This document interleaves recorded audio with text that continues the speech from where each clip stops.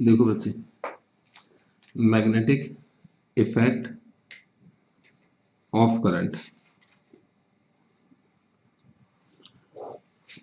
application of Biot Savart law अब आपके पास है बायोट सेवर्ट लॉ और आपने अप्लाई करना है। आपके पास है straight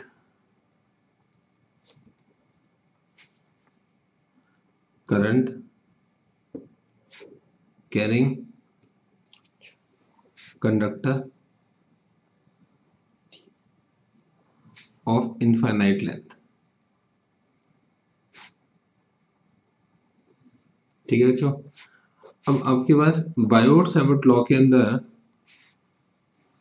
जो आपका एप्लीकेशन थी तो सबसे पहले था circular ring semi circular loop और कोई आपके पास मार्क अभी एक स्टेट करंट कैरिंग कंडक्टर भी बायोट लॉ की एप्लीकेशन है। तो आपने एक इनफाइनाइट लेंथ वाला एक एक कंडक्टर लिया। इनफाइनाइट लेंथ वाला कंडक्टर जैसे क्या कहते हैं, आपके ओवरहेड केबल केबल लाइन जा रही होती है। जैसे आप कभी कभी गए होगे तो आपने देखा होगा किसी आपके पास कोई हाई टेंशन की वायर जा रही है। दस हज़ार वोल्ट का दो बीस हज़ार वोल्ट का आपके पास है, उसका पोटेंशियल डिफरेंस है। हाई वोल्टेज पे करंट उसके अंदर फ्लो कर रहा होता है। तो उस टाइप का जो वायर है आपका, वो कहलाता है आपका इन्फानेट लेंथ वाला वायर ठीक है? अब आपने उस वायर से पी पॉइंट जो कि आर डिस्टेंस पर है, इस पॉइंट पर because of I current magnetic field find out करनी है। तो ये डिस्टेंस परपेंडिकुलर डिस्टेंस है। कितना है आपके पास? आर पॉइंट आपके पास ए है। ए पॉइंट से बी पॉइंट तक गए आप। तो ए से बी का जो डिस्टेंस है, वो कितना आपके पास एल है? आपने छोटा पोर्शन कंसिडर करा, वो कितना आपके पास में डी एल है? आपने क्या करा? इस बी को इस पी से ज्वाइन कर दिया। ये डिस्टेंस कितना आपके पास? एक्स है। और ये एंगल कितना आपके पास? थीटा और ये एंगल कितना आपके पास? फाइव ठीक है? अब देखो। मैटिफिर डीवी इज़ इक्वल टू होगी mu naught upon four pi I d l sine theta और अपॉन में कितना होगा आपके पास? एक्स स्क्वायर ठीक है जी? एक्स क्या होगा? बी से लेकर पी तक का डिस्टेंस अब देखो, सबसे पहली चीज़ थीटा का और फाई का जो समय कितना होगा? 90 डिग्री यहाँ से थीटा इज़ इक्वल टू कितना निकल कर आएगा आपका? 90 डिग्री माइनस फाइव अब आप बस एक छोटी चीज़ याद रखो, मुझे वहाँ पे साइन थीटा था तो मैंने यहाँ लिखा साइन थीटा तो साइन थीटा कितना होगा आपके पास? Sine 90 minus phi sine 90 minus phi क्या बन जाएगा आपके पास? कॉस फाइव अब आप आ गए कॉस फाइव पर तो आपके पास जो कॉस फाइव होगा, वो होगा बेस कॉस फाइव होगा बेस अपॉन नाइनटी के सामने हाइपोटेनस तो कॉस फाइव है आपके पास आर अपॉन एक्स तो ऐसे x इज़ इक्वल टू कितना निकलेगा आपका? आर अपॉन कॉस फाइव तो आपके पास x इज़ इक्वल टू कितना निकला आपका? r सेक फाइव अब आपको निकालना है dx अपॉन डी फाइव तो dx अपॉन डी फाइव होगा आपके पास r sec phi tan phi. अच्छा इसको मत निकालना ऐसे। फोर्थ थिंग पे आ जाओ। साइन भी आ गया, कॉस भी आ गया। और साइन में कॉस क्या था? इसके अंदर टेन लगा तो टेन फाइव। तो tan phi is equal to कितना होगा? Perpendicular upon base. तो sec phi is equal to perpendicular upon base. तो यहाँ से एल इज़ इक्वल टू कितना होगा? R tan phi. मुझे d x upon d phi नहीं चाहिए था, मुझे d l upon d phi चाहिए। मुझे डी एल पता था यहाँ पर। तो मुझे डी एल खत्म करना है, इसलिए उसको डिफ्रेंशिएट नहीं किया। तो यहाँ से अगर मैं डी एल डी फाइव लगाता हूँ तो होगा मेरा आर sec square phi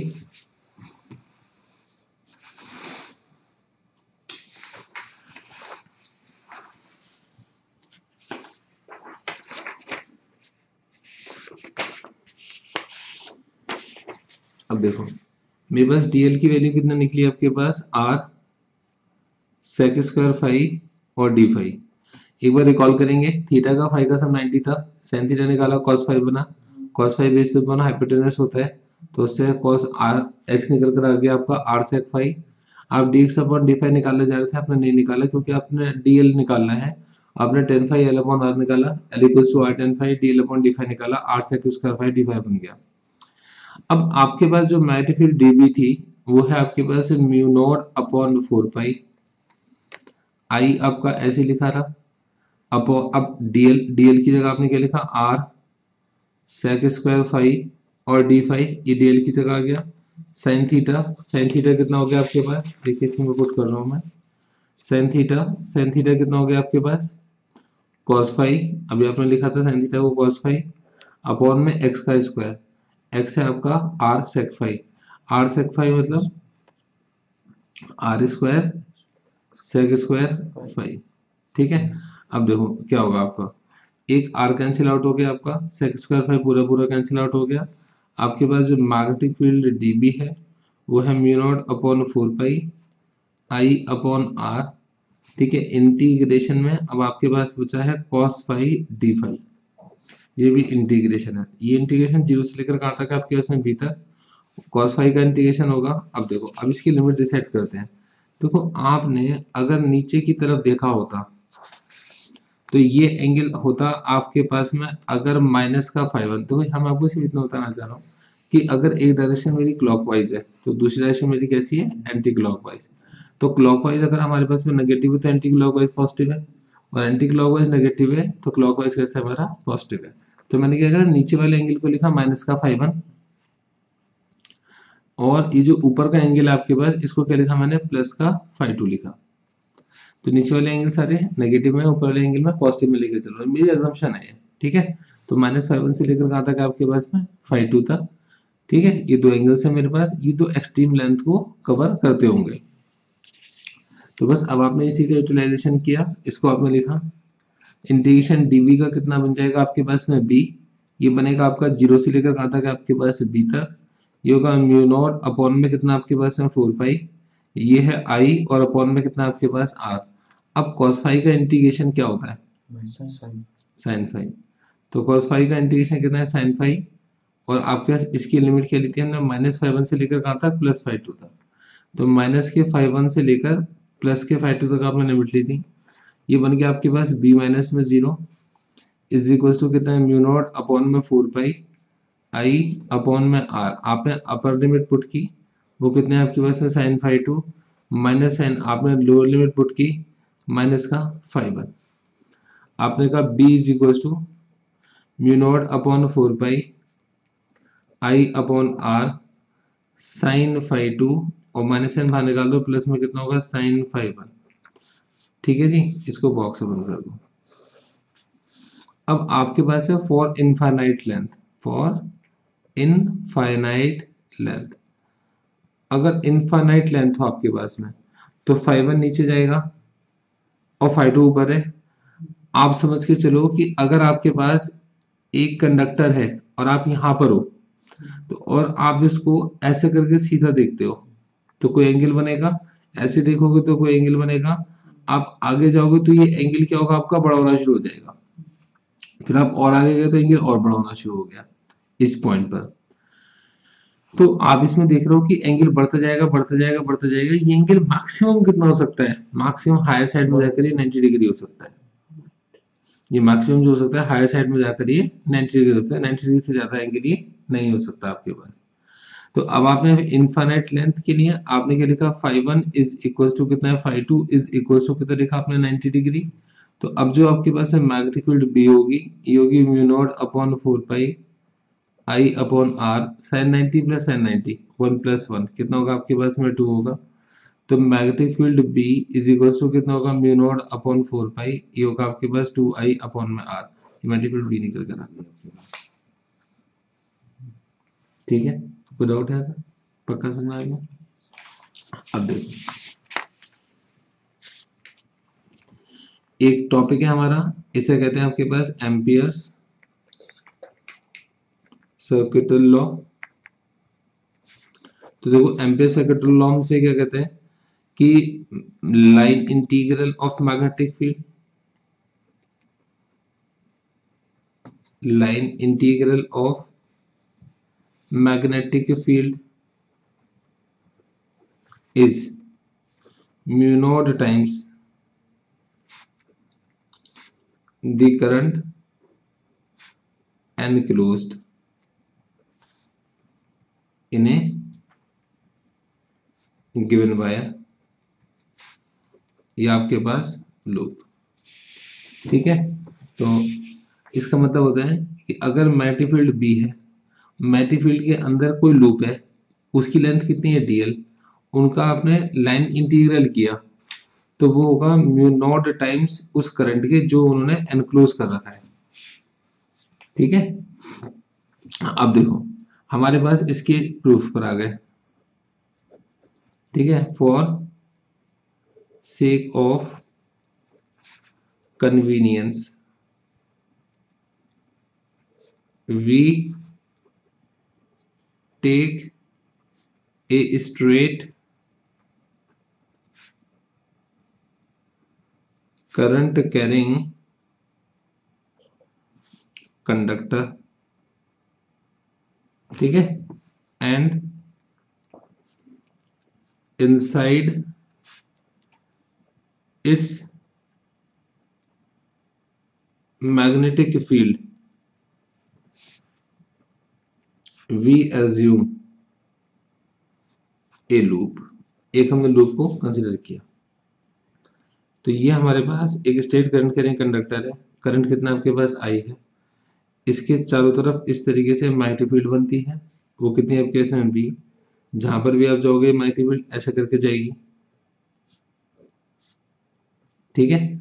अब आपने क्या करना है? ध्यान से समझ के चलिएगा। ये डिस्टेंस कितना आपके पास आर है? आपने यहाँ पर एक स्टेट पोर्शन कंसिडर करा है कितना आपके इसमें डीएल है। ये छोटा सा पोर्शन आपने इसके अंदर डीएल कंसिडर कर लिया। अब देखो, हमारे पास क्लोज इंटीग्रेशन हमने क्या लिखा? B dot d l is equal to कितना होगा? अब आपको मेडिफील्ड मेडिफील्ड बी के लिए निकालनी है। आपने भी पीछे निकाला था कि अगर स्टेट करंट के लिए कंडक्टर होता है तो मेडिफील्ड होती है mu naught upon four pi two I upon में आर। और साथ में कितना आपके पास में डी एल है, और ये कितना होगा? कॉस ज़ीरो होगा, क्योंकि दोनों की डायरेक्शन बिल्कुल सेम है। आपने mu naught upon four pi बाहर निकाला। ये होगा आपके पास टू आई अपॉन में आर। इंटीग्रेशन डीएल करेंगे तो इंटीग्रेशन डीएल जब आप करेंगे तो कितना होगा आपके टू पाई आर होगा।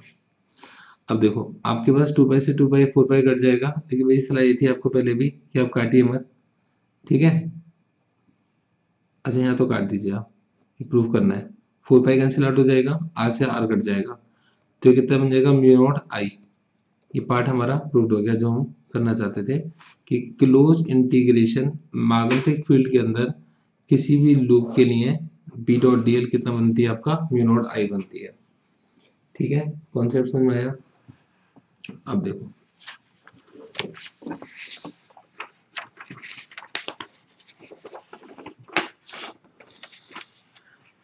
इसकी एक एप्लीकेशन है और वो एप्लीकेशन आपके पास में सोलेनोइड सोलोनाइट क्या होता है आपके पास? एक ट्यूबलाइक स्ट्रक्चर जिसके अंदर एन टर्न्स हैं, आपके पास आपने बाउंड कर दिए। किसी एक सेल से आप इसके अंदर करंट फ्लो कराओगे। सपोज़ करो एंटी क्लॉकवाइज डायरेक्शन में करंट फ्लो कर रहा है आपका। तो एंटी क्लॉकवाइज डायरेक्शन में होगा तो जिसमें करंट आपका, ऐसे फ्लो कर रहा होगा। वो लूप बनेगा नॉर्थ पोल अगर आप किसी चीज़ को एक साइड से देखते हो एंटी क्लॉकवाइज है तो दूसरी साइड उसकी कैसी होती है? क्लॉकवाइज होती है। तो वहाँ पे जो करंट लूप बनेगा कैसा बनेगा आपके पास एस बनेगा। एस का मतलब होता है आपके पास साउथ पोल तो ये जो पोल है आपके पास, ये नॉर्थ पोल बनेगा और ये पोल क्या बनेगा आपका? साउथ पोल बनेगा। तो आपके पास मेटी फ़ील्ड लाइन नॉर्थ पोल से निकलेंगी साउथ पोल में एंटर करेंगी और ऐसे जाएँगी। मेटी फ़ील्ड लाइन नॉर्थ पोल से निकलेंगी साउथ पोल में एंटर करेंगी और ये ऐसे जाएँगी। कॉन्सेप्ट समझ आ रहे की चीज़ हमारे पास सोलेनॉइड समझ में आ गया? अब देखो, हमारे को हमने considering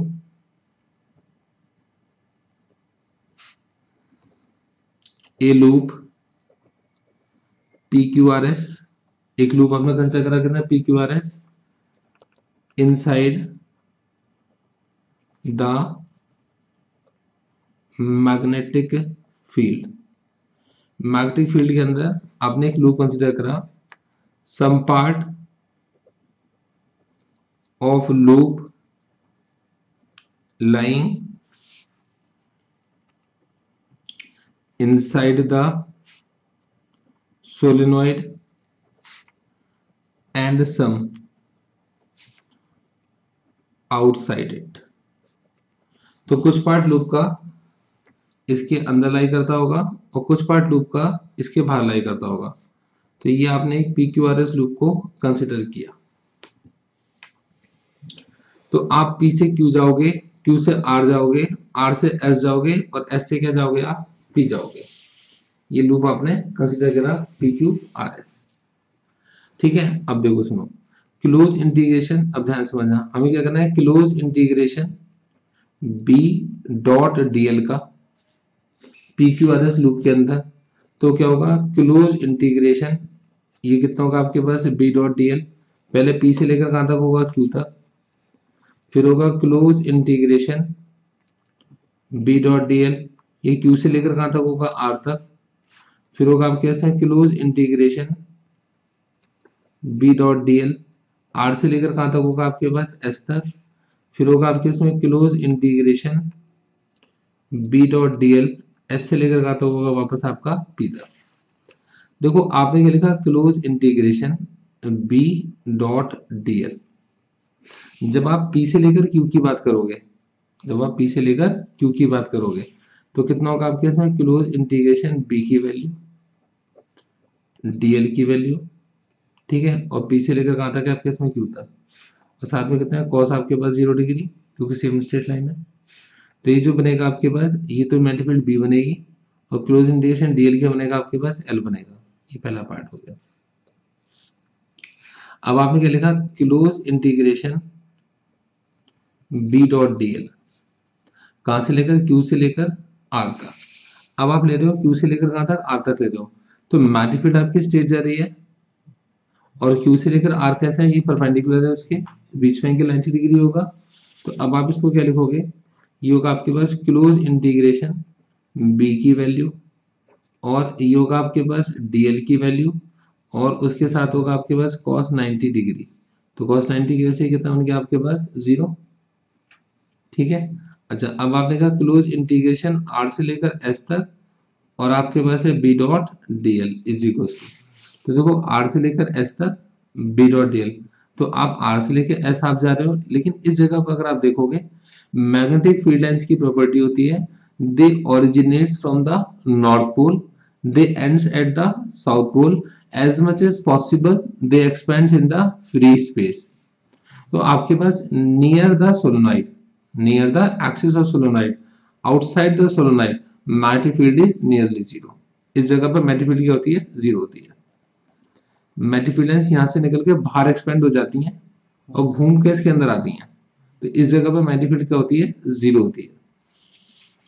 तो आप इसी बताओगे आपके पास में इज़ इक्वल टू कितना होगा ज़ीरो एज आप लिखोगे B near the axis of solenoid ठीक है? B near the axis of solenoid solenoid की एक्सिस के पास। ठीक है? Outside the solenoid is zero ठीक है? इज़ ज़ीरो ठीक? तो ये ज़ीरो बन गया आपके पास। अब आप एस से लेकर कहाँ पर जाओगे? पी पर। तो जब आप एस से पी जाओगे तो एंगल कितना बन जाएगा आपका? 90 डिग्री का बन जाएगा। भाई एस से लेकर पी जो आपके पास एंगल कितना बन गया आपका? 90 डिग्री का एंगल बन गया। देखो, अब आपके पास ये बना। क्लोज इंटीग्रेशन एस से लेकर पी ये बनेगा आपके पास B dot D L is equal to कितना बन गया आपके पास? क्लोज इंटीग्रेशन एस से लेकर पी बी की वैल्यू डी एल की वैल्यू और कितना होगा कॉस 90 डिग्री आंसर कितना आएगा ज़ीरो आ गया। यहाँ तक कोई डाउट किसी को? कॉन्सेप्ट समझ में आ गया अच्छे से।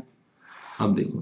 तो हमने देखा कि जब हम इसे पुट करेंगे close integration B dot DL तो ये कितना होगा आपके पास? पहले आपके इसमें क्लोज इंटीग्रेशन था पी से लेकर क्यू तक बी डॉट डीएल ठीक है? फिर आपका क्लोज इंटीग्रेशन था क्यू से लेकर आर तक बी डॉट डीएल फिर आपका क्लोज इंटीग्रेशन था आपके पास आर से लेकर एस तक, कितना आपके पास? बी डॉट डीएल और फिर उसके बाद क्लोज इंटीग्रेशन था आपके पास में एस से लेकर पी तक, और ये भी कितना आपके पास? बी डॉट डीएल अब आपने जो पहले पी से लेकर क्यू तक था, उसकी वैल्यू निकाली थी बी इंटू एल अगले वाली की ज़ीरो उससे अगले वाले की भी ज़ीरो और उससे अगले वाले की भी ज़ीरो ठीक है? अब ये है आपके पास किसके? Equal close integration B dot DL अब according to Biot Savart law sorry according to Ampere circuital law according to Ampere's circuital law हमारे पास ये जो बी डॉट डीएल है क्लोज इंटीग्रेशन हमारे पास जो बी डॉट डीएल है, ये कितना होगा? म्यू नॉट टाइम्स जितना भी करंट आपके पास उसके अंदर होगा। तो अगर हर लूप में करंट आई है और ऐसे मेरे पास में एन लूप्स हैं तो कितना बन गया? B to mu N I बन गया। एन को मैं बड़ा एल लिखूँगा क्यों लिखूँगा? क्योंकि सारे लूप लेके चल रहा हूँ मैं है ना? जितने भी तो म्यू नॉट एन आई बन गया हमारे पास। ठीक है अब इसकी वैल्यू को मैंने पुट कर दिया। Mu naught number of turns N into I is equal to कितना होगा? बी इंटू एल होगा। तो हमारे पास mu naught number of turns per unit length into I is equal to कितना होगा? आपके पास में बी होगा। तो हमारे पास में जो बी होगा, वो बन गया mu naught N into I बन गया आपके पास। हमारा जो मैग्नेटिक फ़ील्ड बी है, वो क्या बन गया? Mu naught N into I बन गई। ये हमारी मैग्नेटिक फ़ील्ड बन गई। और एन का मतलब है number of turns per unit length ठीक है? क्लियर अच्छा देखो। अब सोलनाइट की खासियत थी कि सोलोनाइट से जैसी मैग्नेटिक फ़ील्ड निकलती है तो आधी मैग्नेटिक फ़ील्ड ऊपर निकल जाती है और आधी आपके पास नीचे निकल जाती है। अब अगर आप इसको टोराइड बना दो टोराइड होती है आपके पास एंड लेस सोलेनॉइड तो उसमें क्या होता है, आपके पास में आपने सोलोनाइड को ऐसे घुमाया और ऐसे सामने लेकर आ गए। मतलब जो सीधी आपके पास में सोलोनाइड थी, उसकी ट्यूब को आपने घुमाया और इसके दो एंड्स को एक दूसरे के क्लोज लेकर आप आ गए। तो ये होगा आपके पास नॉर्थ पोल और ये होगा साउथ पोल मेडिफील्ड डायरेक्ट नॉर्थ से साउथ में जाएगी और इसी के अंदर गोल गोल घूमती रहेगी। बाहर मेडिफील्ड लॉस्ट ही नहीं होगी। जब बाहर मेडिफील्ड लॉस्ट नहीं होगी तो ब्रेक नहीं होगी दो पार्ट्स में। तो जितनी मेडिफील्ड आपके पास नॉर्थ जनरेट करेगा, वो सारी की सारी मेडिफील्ड कहाँ चली जाएगी साउथ में चली जाएगी और इसी के अंदर रोटेट करती रहेगी। इस एंडलेस सोलेनोइड को हम बोलते हैं, जिसके एंड्स नहीं है हम बोलते हैं टोराइड अब इस केस में देखोगे तो जो सोलेनोइड की लेंथ थी, वो आपके पास में टू पाई स्मॉल आर बन चुकी है। आर के आपके पास वो जो टोराइड आपने बनाई थी गोल उसका रेडियस बाकी सब कुछ बिल्कुल सेम है। ठीक है? एल था ना लेंथ थी हमारे पास एन अपॉन एल में। तो जो एन अपॉन एल में लेंथ थी, वो लेंथ कितनी बन गई आपके पास? Two pi small r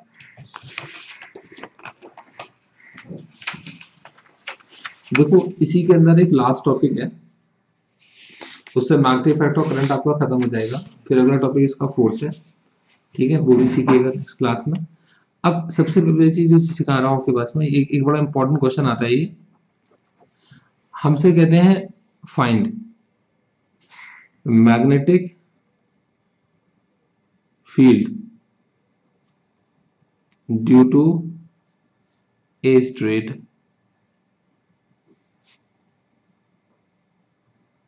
current carrying conductor of infinite length ठीक है using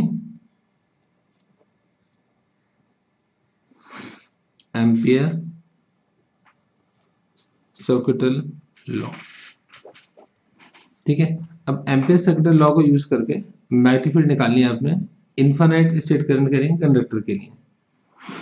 तो देखो, हमने क्या करा स्टेट करंट करेंगे कंडक्टर कंसिडर करा। ये कितना आपके पास? आई है। इसके अंदर कोई मैग्नेटिक फ़ील्ड बनी इसकी। इस मैग्नेटिक फ़ील्ड की वैल्यू कितनी होगी? बी होगी। एक छोटा सा स्मॉल पोर्शन कंसिडर करा, कितना आपने? डीएल ठीक है? अब आपके पास है क्लोज इंटीग्रेशन इस बी डॉट डीएल का एम्पेयर सर्किट लॉ क्या कहते हैं? म्यू नॉट इनटू आई के इक्वल होगा। क्लोज इंटीग्रेशन ये आपके पास में बी की वैल्यू हो गई। इंटीग्रेशन डीएल आपके पास में डीएल हो गया, है ना? और उसकी वैल्यू हो गई। और साथ में कितना होगा? Cos zero degree is equal to कितना होगा? म्यू नॉट आई के इक्वल होगा। आपने क्या करा? क्लोज इंटीग्रेशन में बी की वैल्यू और आपके पास में डीएल की वैल्यू इज़ इक्वल टू कितना होगा म्यू नॉट आई बन गई। मेडी फ़ील्ड की वैल्यू को आपने बाहर निकाला इंटीग्रेट किसको करा आपने डीएल को करा? इज़ इक्वल टू कितना म्यू आई है? इंटीग्रेशन आपके पास में डीएल का, कितना निकलेगा आपके पास? टू पाई स्मॉल आर निकलेगा। इंटीग्रेशन डीएल का कितना निकलेगा? Two pi small R is equal to कितना mu naught into I है? तो आपके पास मेडिफिल्ड बी की जो वैल्यू है, वो होगी mu naught upon two pi I upon में कितना होगा? आर होगा। बी की वैल्यू आपने टू से डिवाइड कर दिया तो mu naught upon four pi बन गई। ये कितना बन गया? आपके पास में two I upon small R बन गया ठीक है? ये एम्पियर सर्किटल लॉस है। निकाल दिया हम लोगों ने मैट्रिक ठीक है? All the